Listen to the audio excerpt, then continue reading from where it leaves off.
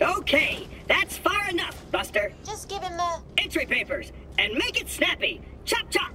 You little You're in violation of the verbal space morality statute. You just got a ticket. F you. Oh, you just got another. I love rules. They make me powerful. Follow me or you'll get a third ticket.